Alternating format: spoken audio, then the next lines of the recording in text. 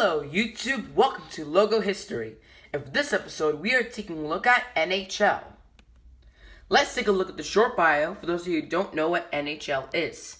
It is a famous ice hockey league founded on November 26, 1917 in Montreal, Quebec, Canada. It stands for the National Hockey League. There are 31 teams, 24 American and 7 Canadian. Its commissioner is Gary Bettman. Its headquarters are in New York City, New York. The team with the most amount of titles is the Montreal Canadiens with 25 titles. Its Canadian TV partners are Sportsnet and TVA Sports. Its American TV partners are NBC, NBCSN, NHL Network, and Univision. Its official website is NHL.com, so let's take a look. The NHL uses. Uh, yeah, I know this one. Let's just Canadian train. Oh, I didn't even read this thing. You know, let's just scroll down. 2018 to 19 NHL trade tracker. You know, and all this other stuff about hockey players. And this is the uh, NHL network kind of like headquarters thing or whatever. Kind of looks like a news thing. Raanta feels healthy, expects Coyotes to build on strong finish. Alright, scroll down. Wow, there's a lot. There's a lot. Let me just scroll down all the way down. Canadiens forward prospect released from hospital. Evans, who left rookie game on stretcher in concussion protocol. Let's just let's just go back. Now, without further ado, let's get started. 1917 and 1946, we have a shield. Um, we have we have a shield with with black, white, and yellow outline, and we have uh, two golden stripes diagonally, and we have the letters NHL in golden text.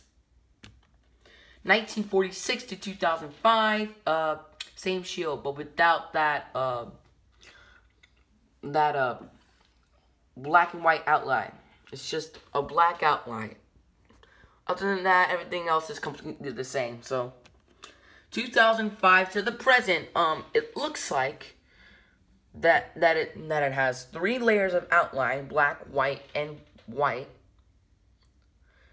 Um, and and this is a black shield, and we have two diagonal lines that are white, and we have the word NHL in a white text.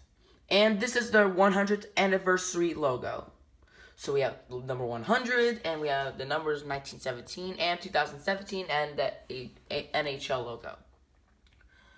This episode is not over yet. I have one more logo to show you before I sign off. And that logo will be Electronic or Electronic Arts or EA. Well, just EA. So yeah, Electronic Arts people. Yeah, EA. Also, this was a logo requested by Henry McAvoy who is also the person who requested Amazon for episode 154. Um, yeah. Thanks, Henry. Alright, but first, let's take a look at the short bio for those of you who don't know what EA is. It is a video game industry founded on May 27, 1982 in San Mateo, California. Its founder was Trip Hawkins. Their headquarters are in Redwood City, California. Its key people were Larry Probst, chairman, Andrew Wilson, CEO, and Blake Jorgensen, COO and CFO. As of 2018, there are 9,300 employees. Their website is ea.com. So let's take a look. Alright, so this is their home page. NBA Live 19. Be the one. Build your speed. Dominate the globe.